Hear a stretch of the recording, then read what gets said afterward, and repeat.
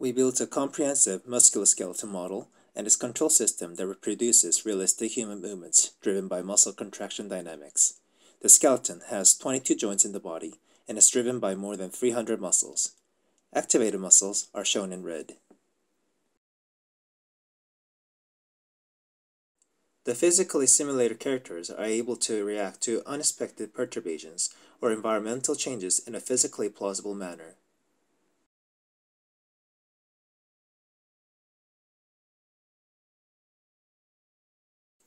Our character learned to lift the bar with weights using deep reinforcement learning. We gradually increased the weights to learn incrementally more challenging tasks. As the mass increases, the controller has to learn a different muscle coordination for the increased mass.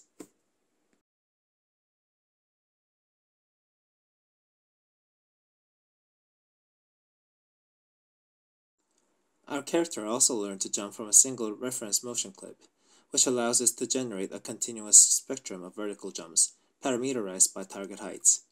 As the target height increases, we time warp the reference motion to match the increased time in the air. The character learned to use arms more dynamically to jump higher.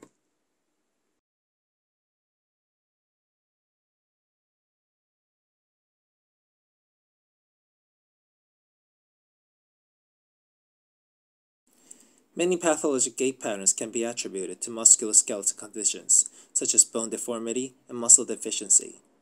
We consciously created such pathologic conditions in our model to see if gait patterns are generated as intended. Contracture is the shortening or stiffening of muscles that results in decreased movements and range of motion. The contracture of the psoas majors results in permanent flexion of the hip joints.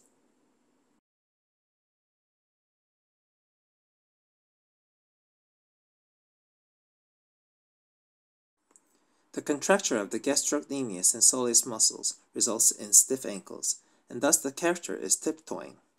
The symptoms of muscle contracture can be easily incorporated into our model by adjusting the rest length of the muscle.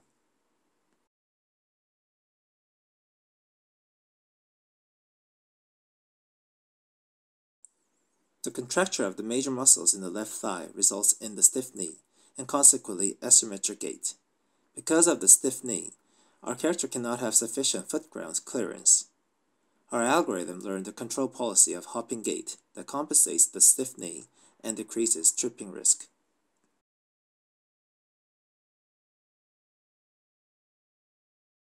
Femoral anteversion is an inward twisting of the thigh bone, resulting in in-toeing gaits.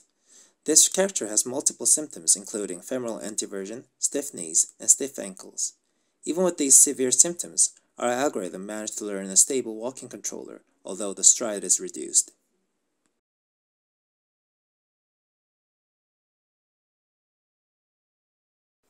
We also learned walking, running, and dancing with a prosthetic leg. The goal of designing a prosthetic leg is restoring the functionality of the missing body parts. Our learning algorithm simulates the process of adapting to the prosthetic leg.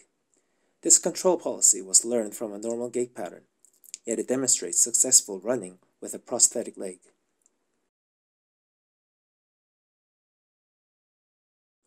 We designed two types of lower extremity prostheses, transtibial and transfemoral. Both have a passive spring damper system to model the compliant reaction of the prosthesis.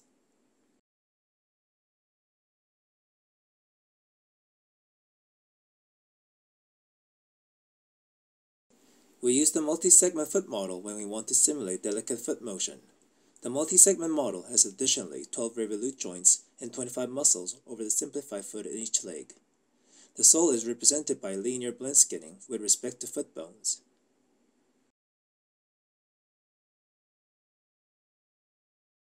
This side-by-side -side comparison shows the multi-segment foot absorbs foot ground impact to make a smoother landing. The difference is subtle, yet important in clinical gait analysis. The multi-segment foot model facilitates more accurate analysis of human gait.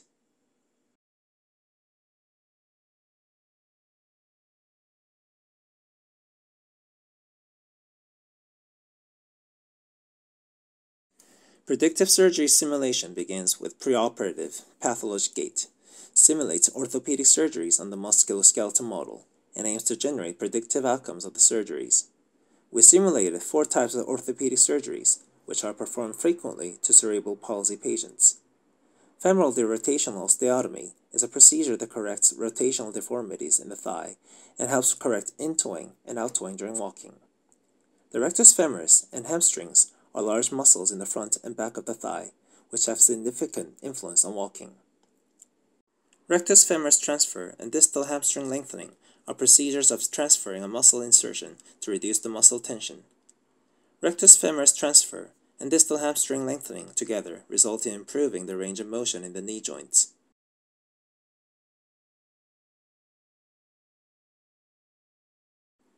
Tendo-Achilles lengthening is a procedure that lengthens the Achilles tendon to reduce the tension of the calf muscles, which can widen the range of motion of the ankle and consequently alleviate the symptoms of tiptoe walking. The modified musculoskeletal model learned the post-operative gait that serves as a predictive outcomes of the surgery simulation.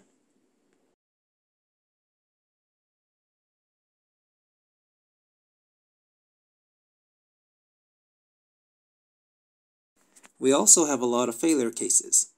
In this example, one leg squat requires muscle coordination beyond the physical capability of the character, which could not generate sufficiently large torque with flexed hips and knees. Designing capable musculoskeletal models and their parameter tuning are important steps for successful simulation and control.